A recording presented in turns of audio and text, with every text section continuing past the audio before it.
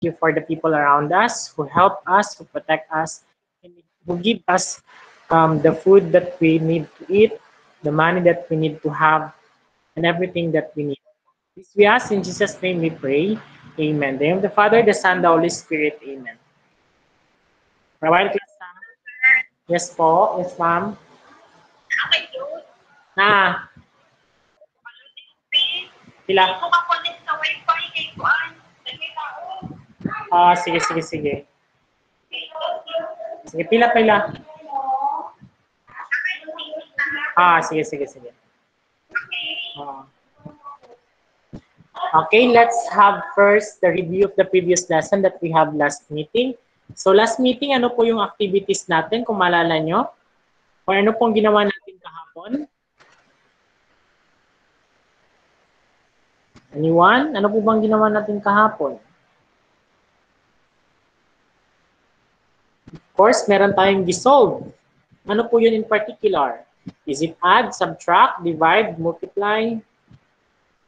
Divide. Yes. Last meeting, we were able to divide polynomials. And sabi po sa polynomials, kapag nag-divide ka po ng polynomials, ang ang exponent po is isa-subtract. So, while hantayin natin yung mga classmate nyo, pumapasok pa kasi.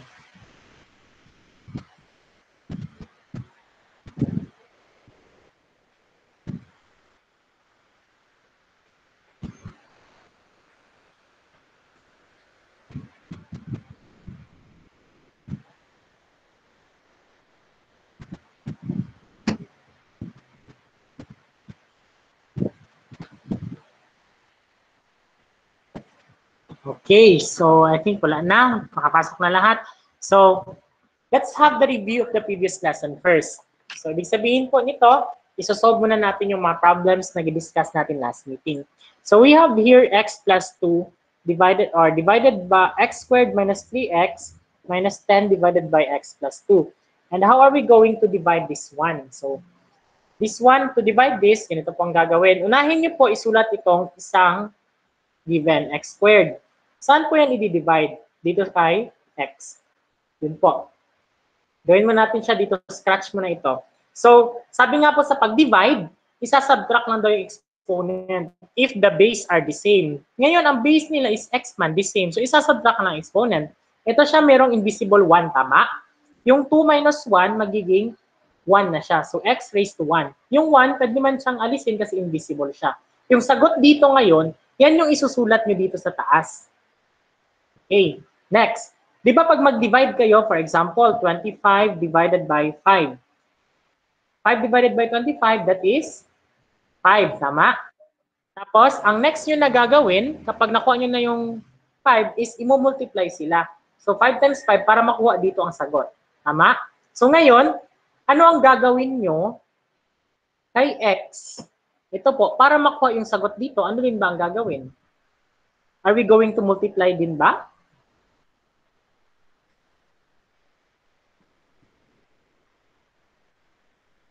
Okay, we are going to multiply din. Kasi tulad po siya nung kanina pag-divide natin, ginamitan natin siya ng multiply. So, imumultiply natin yan. x, ito po yan, times x plus 2. Kapag nag-multiply ka ng exponent, i-add mo yung exponent if the base are the same. Tulad nito, x and x. The exponents are, or the base are the same, x and x. Therefore, they have the invisible 1 exponent. I-add natin yung exponent, that is 2. Tapos ngayon, tapos na tayo dito. Next na tayo sa second. Dito na tayo. Okay, paano yan isosolve? 2 times x or x times 2. Ngayon, si x, will, meron siyang variable which is numerical coefficient 1 and the variable x. Ito naman 2. So, yung invisible 1, i-multiply mo kay 2, that is 2. Tama? Tapos ngayon, wala mang partner si x. Since wala siyang partner, kopyahin na lang po. And the answer there is x squared plus 2x. Saan yan siya isusulat?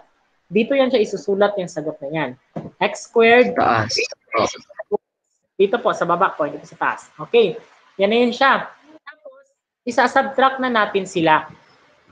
And we are, if we are going to subtract this one, meron kang x squared. Binawas naman ng x squared, walang matitira. Dito na tayo sa second. Meron kang negative 3x, binawasan mo ng positive 2x. So, yan na yun. Meron kang negative 3, tapos meron ka pang negative 2. So, may utang ka na 3, may utang ka pa na 2. Ilan na lahat? 5. Ilan, ano yun siya? Utang. So, negative din siya kasi utang. Then, ano yung variable na ginamit? X.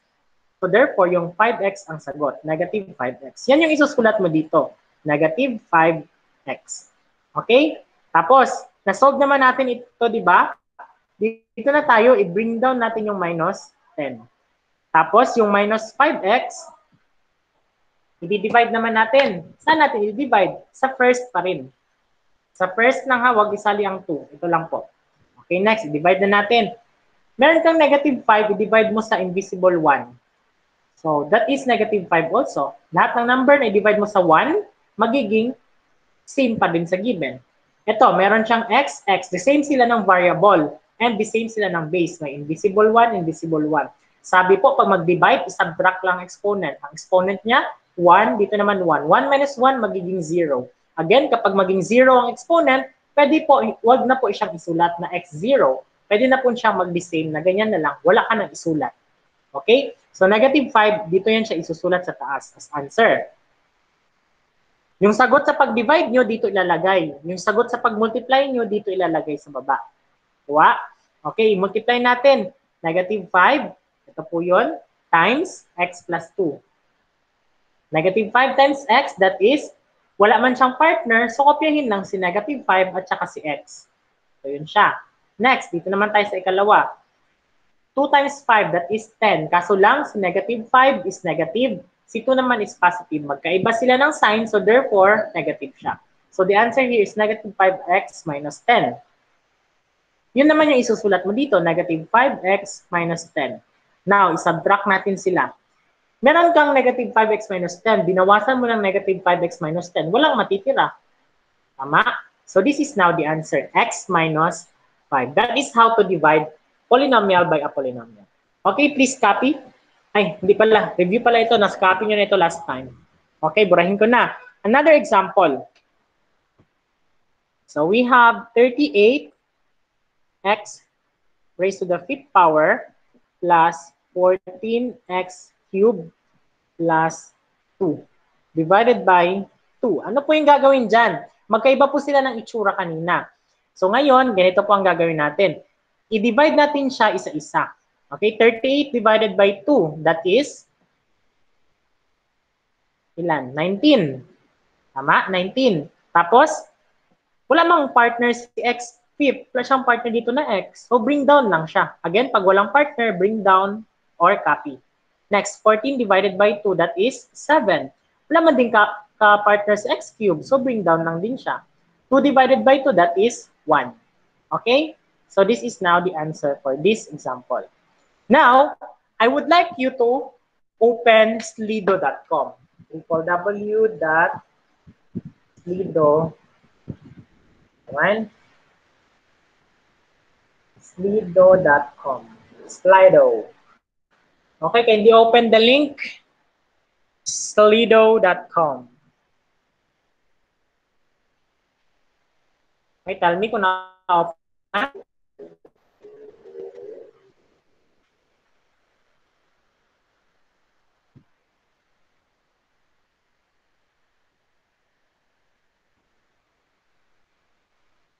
Na-open na po ba?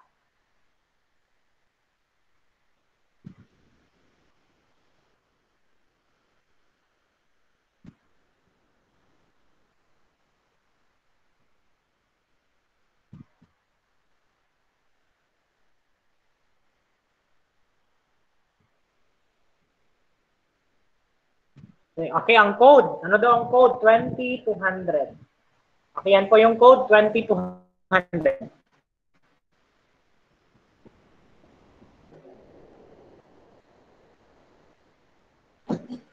Tapos, merong question dyan. Ang sabi sa question, 32y raised to the power of 2 plus 16y minus 2 divided by 2.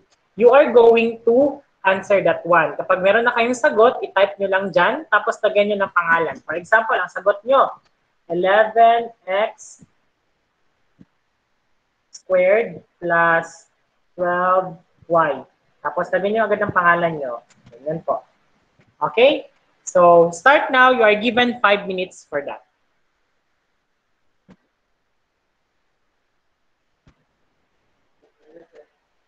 Yes. Kalubay. Okay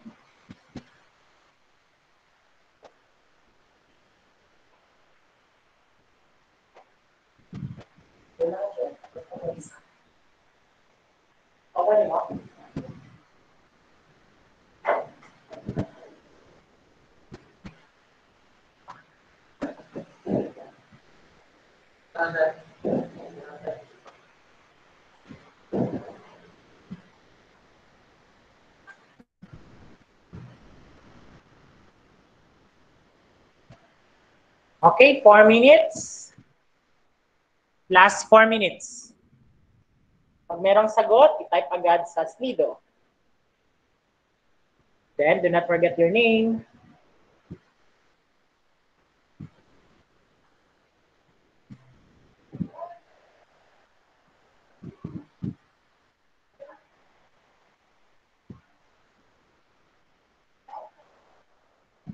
Ah, yes, ma'am.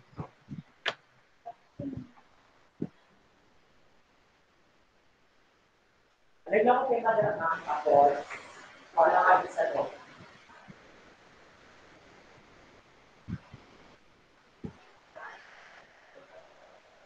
Director, Alam pa rin.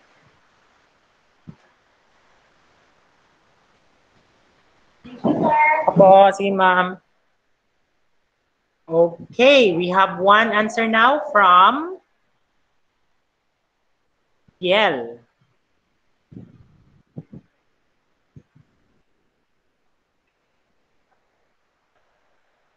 Last three minutes.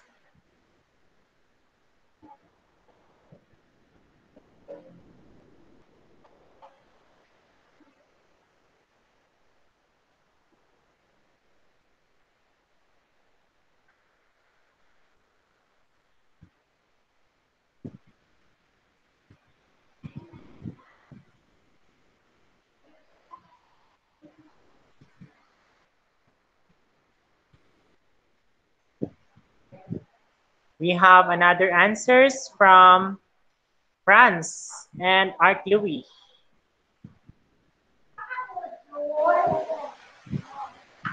Okay, last last two minutes. Another answer from Brian.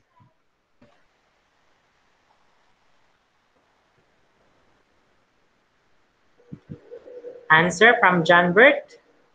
Pero hindi daw siya sure.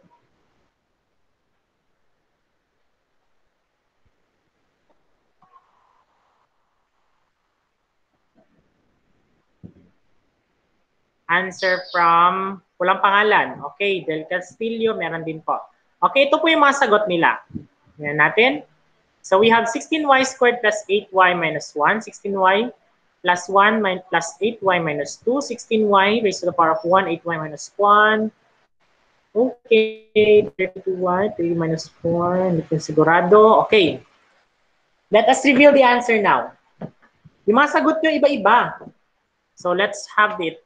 So we have 32y raised to the power of 2 plus 16y minus 2 divided by 2. So in this case, we are just going to divide it directly. 32 divided by 2, that is 16. Tama? Wala mang partner si y, just bring down. Si 2 plus 6, 2 divided by 16, that is 8. Wala naman partner si y, just bring down. 2 divided by 2, that is 1. Kaso lang, negative siya, si 2 dito sa taas. Dito naman, positive si 2 sa taas. Magkaiba sila ng sign, therefore, magiging negative siya. So, we have the following answer, neg- uh, 16y squared plus 8y minus 1. So, sino po nakatama?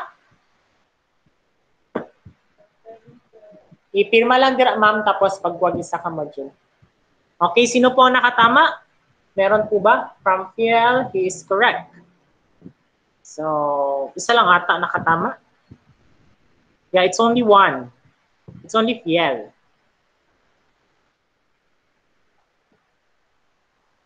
And merong isa dito kaso lang walang pangalan. Okay. Yan po yung mga sagot ninyo. Okay, thanks for participation. So proceed tayo sa next one. Ah, sige, ma'am.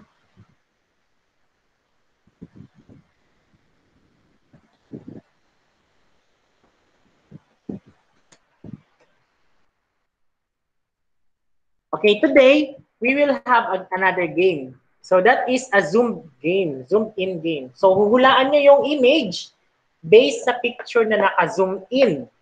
And based on that picture, magkakaroon tayo ng problem solving. So let's start. You don't need to open your microphone.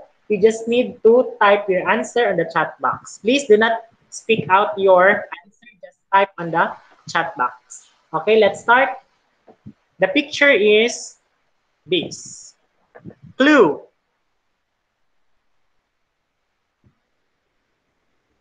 That's the clue. what word is that? Ay, what image is that? Okay, another clue. Pwede siyang kainin.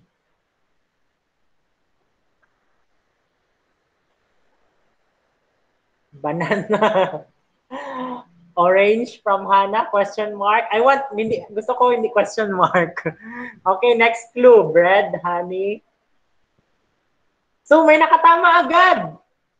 That's orange. Ang bilis naman. Hindi man lang kayo pinahirapan. Samantalang sa ibang section, maabot kayo 5 minutes bago yan masagutan. So, the answer here is citrus, lemon, or orange. So, this is the image of an orange in a microscope. Butil nga, pag di ba pag binuksan niyo yung orange, meron siyang mga maliliit na butil. Yung balat nun, ipasok sa microscope. Yan yung itsura niya. So that is the orange. So our problem now will focus on oranges. So I have here, there are 8x squared plus 36x minus 16 oranges. Please start copying in a basket. Then mother divides them equally among four children. How many oranges does each child get? Sabi po daw dito, meron daw orange si mami. And that is 8x squared plus 36 minus 16 na bilang. Ngayon, kailangan niya daw itong i-divide sa apat na anak niya. Ilan daw yung makukuha ng kanyang anak? So, copy muna, then I will explain.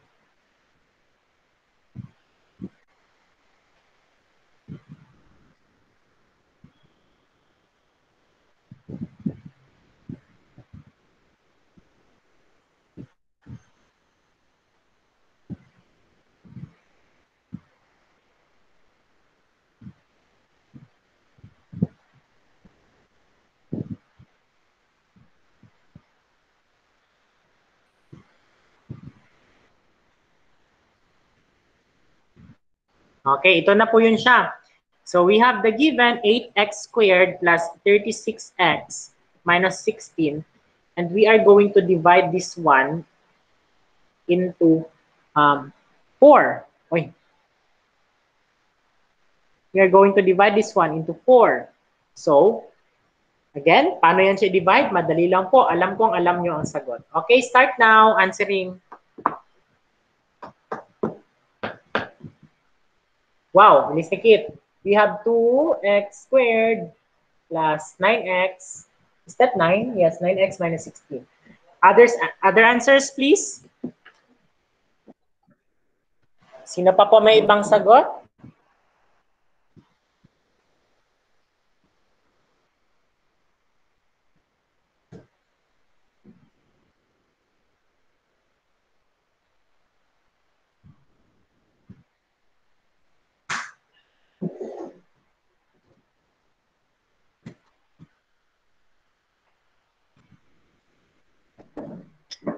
We have answer of 2x squared plus 9x minus 4. 16 po from kay Urgel. Hey, Urgel, take note, 16 divided by 4. I think there's something wrong with what you divide. Franz, the same answer. Cherise, the same answer. Okay, let's reveal na ba? Dapat tatlo pa lang nakasagot, apat pala. So, the same answer. So, 2x squared plus 9x minus 4. Janbert, 2x squared plus 9x minus 4. Okay, let's reveal the answer. So, 8 divided by 4, of course, 2. May partner ba sa x squared? Wala. Just bring down. Next, 36x divided by 4. 36 divided by 4, that is 9. Walang partner sa x, just bring down.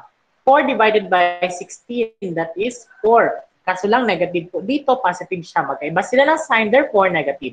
And the answer is 2x squared plus 9x minus 4. Okay, very good. Nakuha niyo na. So, madali lang, di ba? Next, number 2. Guess the image. Ah, by the way, kung tama kayo, copy the answer. Ay, tama, kung tama kayo, wag niyo na kopyahin. Kung mali, kopyahin po ang answer. Pero tama man lahat. Okay, the next image is this. Guess the word. I guess the image.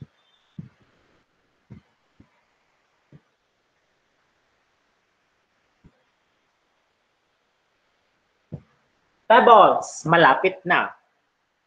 Okay, next clue.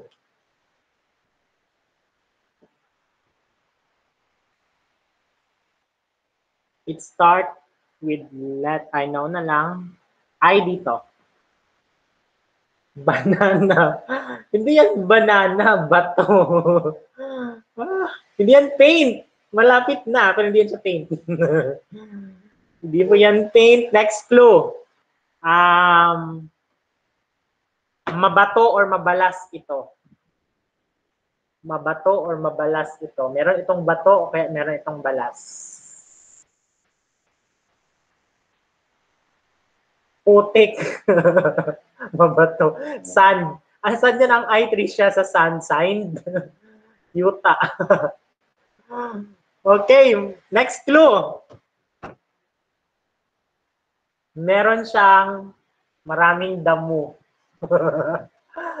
Tama kain, Mary. Meron siyang maraming damo. Ano tawag dyan? Meron siyang maraming damo.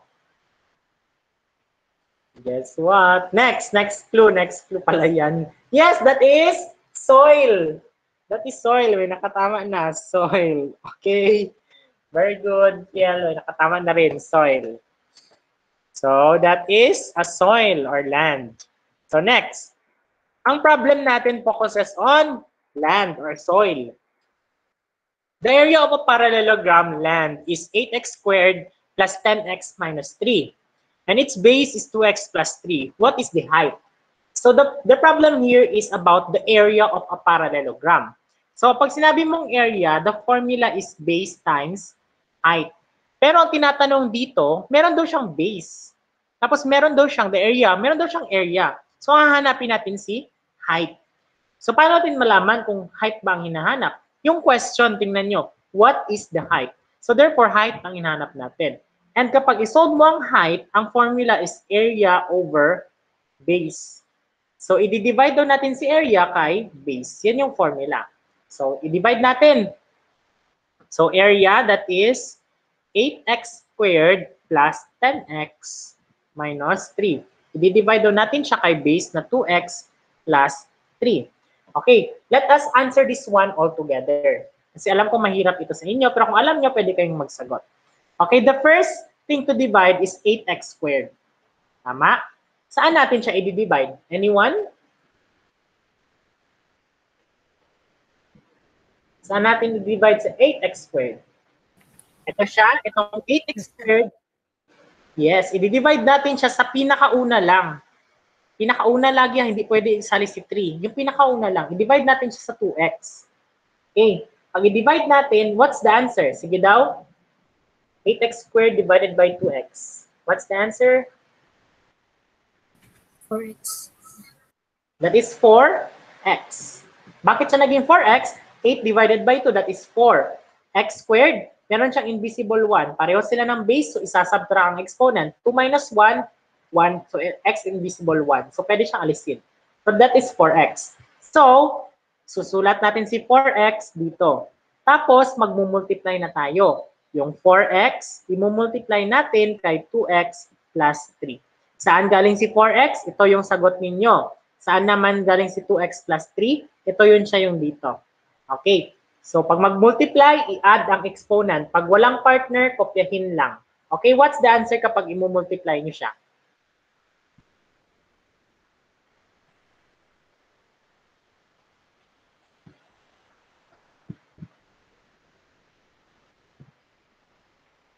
Again, Ang clue dito, kapag merong exponent, i-add lang ang exponent. Pag walang partner, kopyahin lang ang dalawang partner.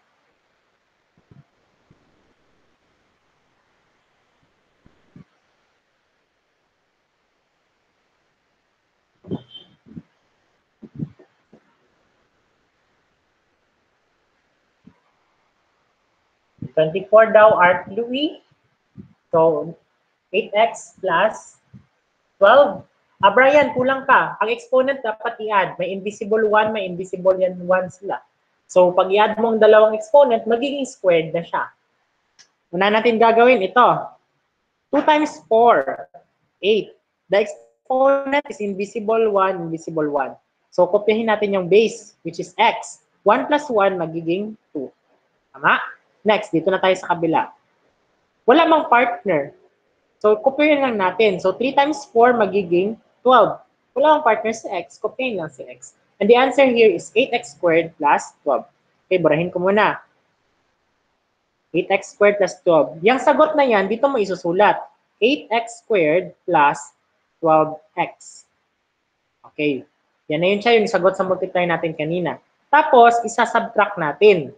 Meron kang 8x squared, di-minusan mo ng 8x squared, 0 na ang sagot. Next, meron kang 10x, di-minusan mo ng 12x. Meron kang utang na 12, binayaran mo ng 10, ilan yung kulang mo? 2x. Tama. And it, since it is kulang, kasi mas malaki man yung utang mo kaysa sa binayad mo, may kulang ka pa. It should be negative. Negative 2x. Okay. Yung sagot na negative 2x, dito mo ilalagay. Na-solve na natin ito, tama? So, bring down mo na yung negative 3. So, magdi-divide na naman tayo. Anong i-divide natin? Itong negative 2x, i-divide natin siya saan? Sa pinakaunang number dito. That is 2x. So, 2 divided by 2, that is 1. Kaso lang, negative sa taas, positive dito. Magkaiba ng magkaiba ng sign. Pag magkaiba ng sign, magiging negative din siya. Okay? Next, x sub 1, eh, x raised to 1, x, x raised to 1.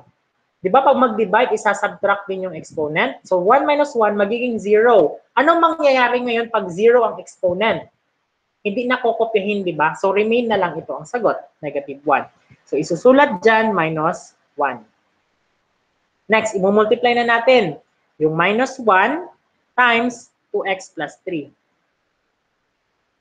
Okay, negative, sige daw, negative 1 times 2, that is 2 lang. Or 1 times 2, that is 2. Kaso lang, magkaiba sila ng sign, magiging negative. And meron man siyang variable, wala siyang variable dito. So, kopyahin lang. Next, 1 times 3, magiging 3. Kaso lang, positive dito, negative dito. Magiging negative siya ngayon. So, negative 2x minus 3. So, isusulat na natin yung negative 2x minus 3 dito. Tapos, isa-subtract natin sila. Meron kang negative 2x minus 3. Babawasan mo ng negative 2x minus 3. May matitira pa ba? Of course, wala na. And that is 0. So, the answer here is 4x minus 1. Okay, very good. At least naka-participate kayo. Okay, next. That is now the area of a parallelogram. Okay, please copy the question and the answer for your basis.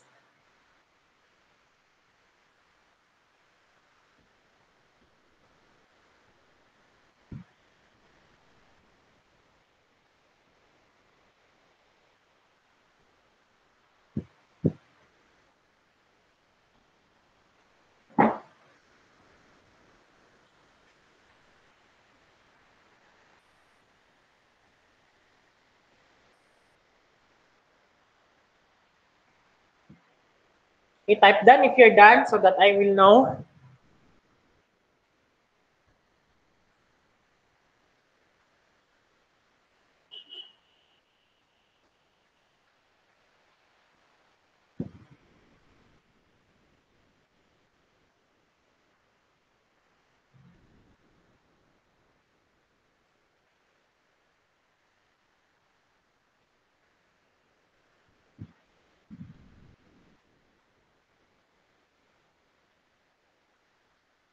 Okay, maybe I could proceed now. So the next is image is this? What is that? It is two words. Two words siya.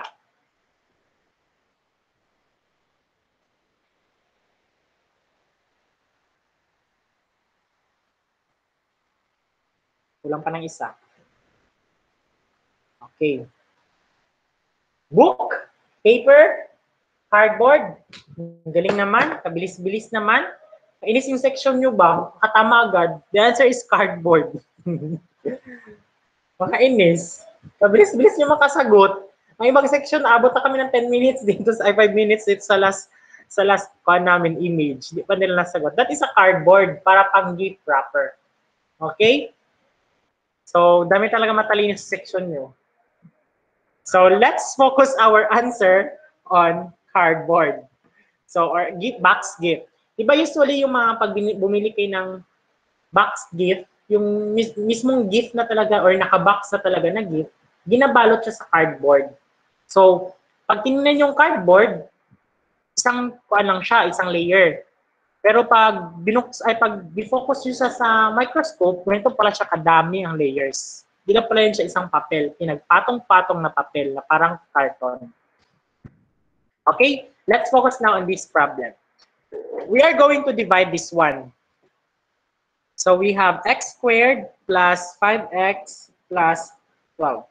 And we are going to divide it by x plus 4. Sige daw, kayo muna mag-start. Kayo muna mag-start. So unang gagawin, si x squared, i-divide kay x. What's the answer?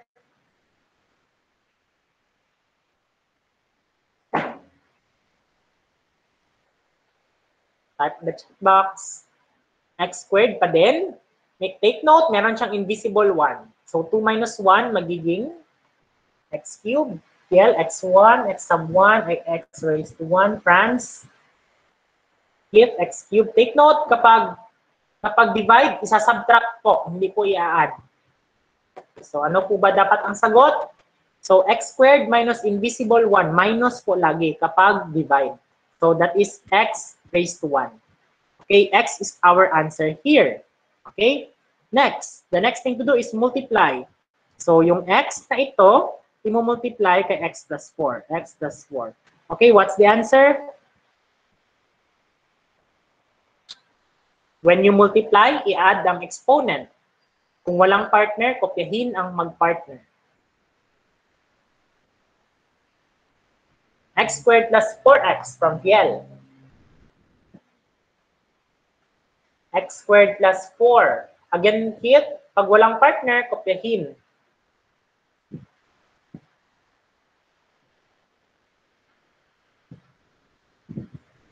Franz, Ladra, x. Bakit x lang?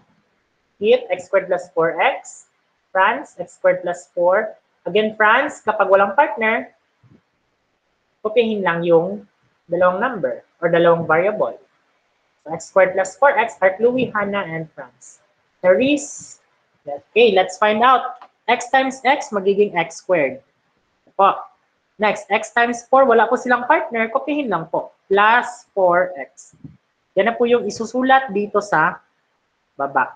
So, x squared plus 4x.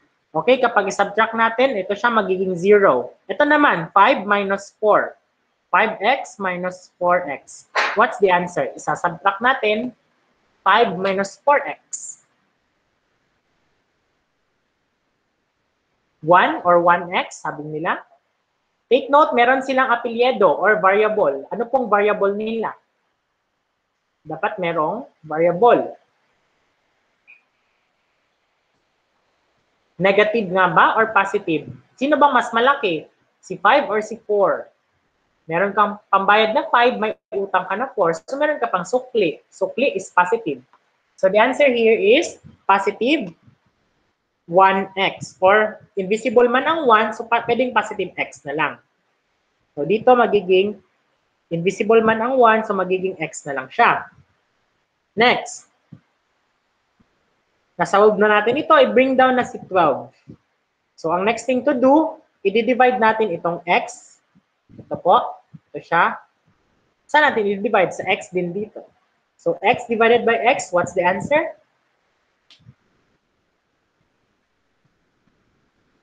Zero.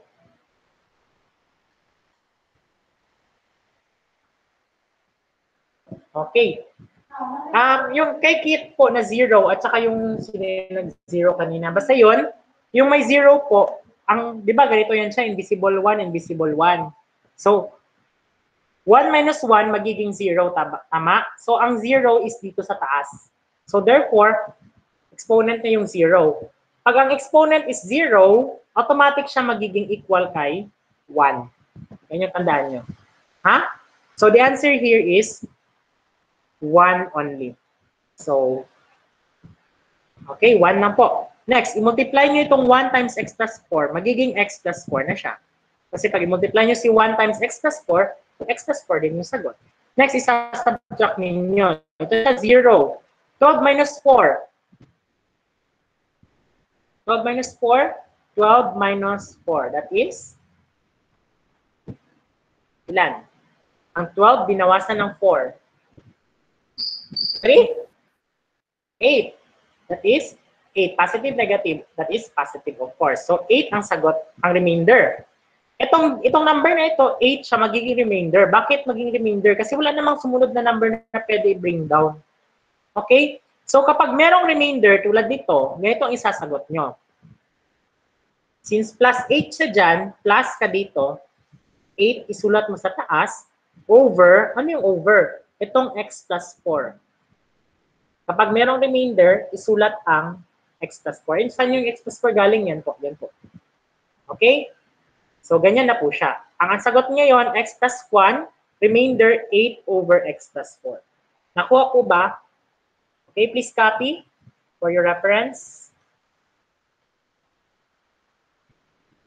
Then type done if you're done.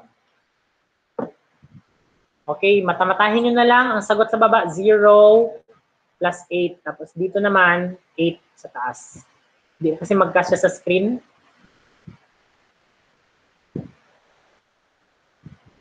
Uy. Ba't nawala?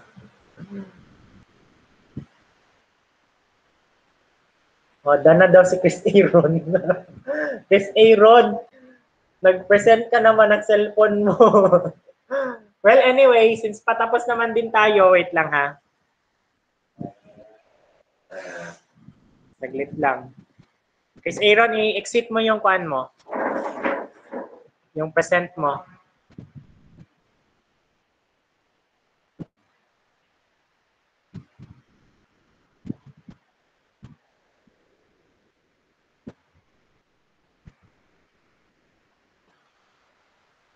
Okay na po.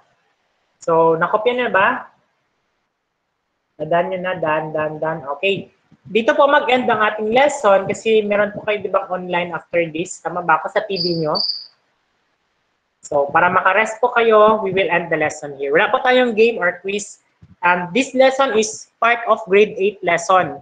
Ang lesson natin yung normal na divide lang talaga ng polynomials, pero sinali ko lang ito so that you could be able to prepare for your grade 8. Para pagdating nyo ng grade 8, magtanong si teacher paano i-divide, at least meron na kayong alam. Hindi kayo ma-stress na, hala, hindi ko yan alam. Wala yan gituro sa amin ni Sir Yumang, hindi ganon. So at least, natutunan nyo na ito para pagdating nyo ng grade 8, easy na lang po. Okay, thank you. I hope you enjoy your the class today. Goodbye, everyone. Bye, sir. Goodbye po, sir. Bye, sir. Bye po, sir. Apo.